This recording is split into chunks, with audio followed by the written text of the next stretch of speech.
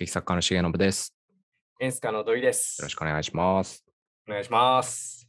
演技を褒めて褒めて褒めまくるということで、えー彼女は綺麗だった第5話いきたいと思います。よろしくお願いします。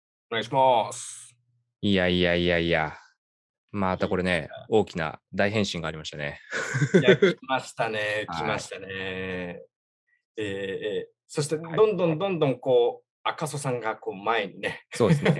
やっぱあの、役割的にも、彼一人がその視覚関係の全貌を知っているっていう、そうだね。うんいいところのね、役ですよね。はい。えっと、最初5分はい。のところなんですけど、えーあ、5分までのところと言った方がいいかな。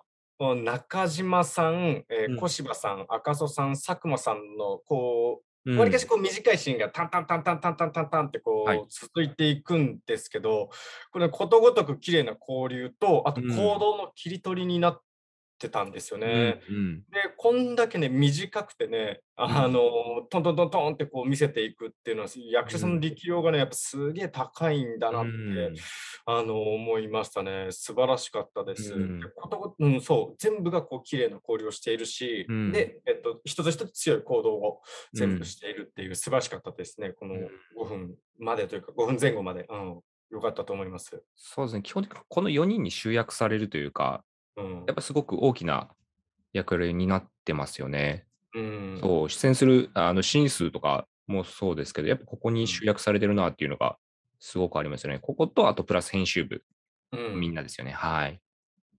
で次が14分のところはいなんですけど、赤楚さん、佐久間さんのあの公演でのうん。ところだったんですけど、はい。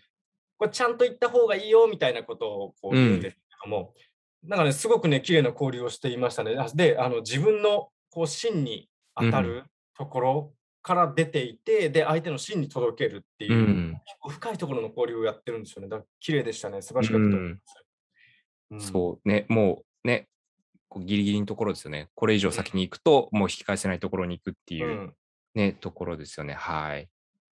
で、24分、はい。小柴さんと佐久間さんのはい。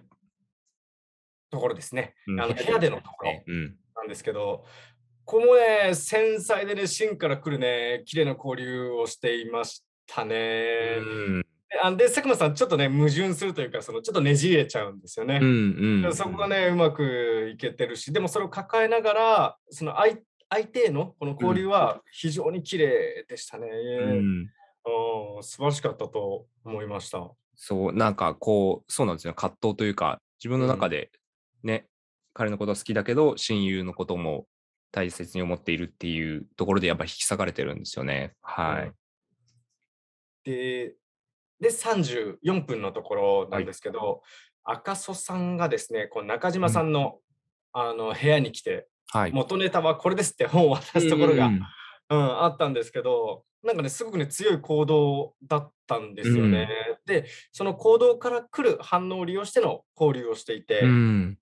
でで、そこで言ってること、あの行われてることも、あの綺麗なとこだったんですよね。うんやっぱうまいですね。うん中島さんもね、受けるしね、うん。赤楚さんも入っていくし、素晴らしいところでしたね。うんよかったと思いましたね。あとやっぱうん小道具の使い方もうまいですよね。あの、うんね、ノートもそうだしってところですよね。はい。で、えー、44分のところ、はい。もう本当に最後だったんですけど、うん小柴さんが最後、ね、あの本を手にして、もう一う回ん頑張るぞっていう、ん。これここね、綺麗でした。あのまあ、この前後ももちろん綺麗だったんですけど、そこはね、素晴らしい強い行動だったんですよね。うんもう一回挑戦してやるぞっていう、うん、よかったと思いましたね。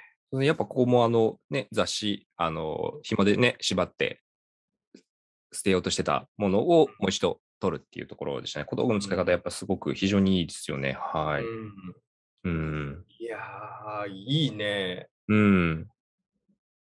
さあ、あと僕ね、あの、35分ぐらいのところなんですけど、はい。あの、一瞬小芝さんがあの、道で犬と戯れるというか、あそこはね、なんか、あそこものすごく自然だなと思ってて、あそこすごく良かったですよね。あの、うん中島さんが、あの、後からこう追いかける。ね。そう あそこ面白かったですね。そう。やっぱシリアスとコメディが、ね、あの、緊張と緩和がうまいますよね。順々に来るというか、ずっと緊張を持続させない、うまく抜いていくっていうところはすごくいいですよね。うんはい。あの中島さんのあの滑り台で、ああ、で降りてくるんですね。うんいい天気だみたいな。うんよくそれでごまかしたなっていう。いいね、いいね。かっこいいね。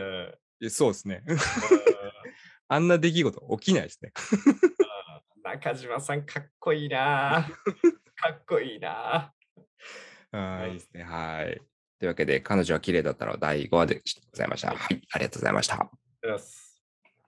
はい、えーこの動画少しでもいいなと思った方は、チャンネル登録、グッドボタン、コメントなどなどしていただければと思います。どうぞよろしくお願いいたします。お願いします。